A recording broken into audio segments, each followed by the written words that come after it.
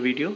Uh, today today's video is all about my gaming and streaming setup. Uh, so quickly uh, if you had already gone through the overview uh, stand stands tall in its glory is uh, the PS5 which is my recent purchase.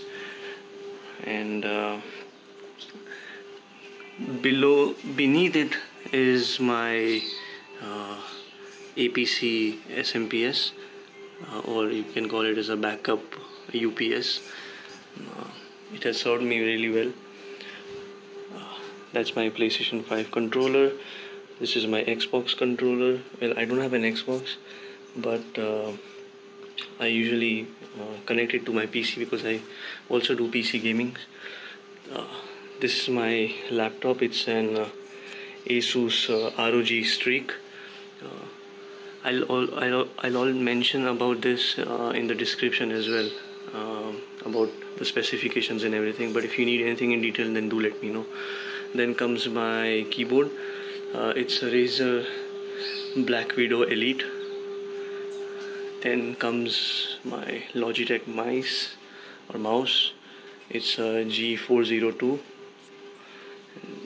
beneath it is the most iconic speakers that I have. These are creative speakers. They don't even exist now. These are about uh, 15 15 years old.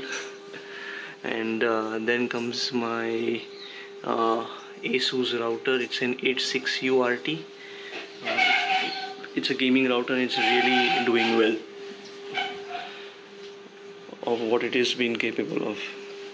So that's it. Uh, this video is not going to be too long. I just wanted to show you my gaming and streaming setup. Uh, yeah of course my chair I really don't want to show my chair right now.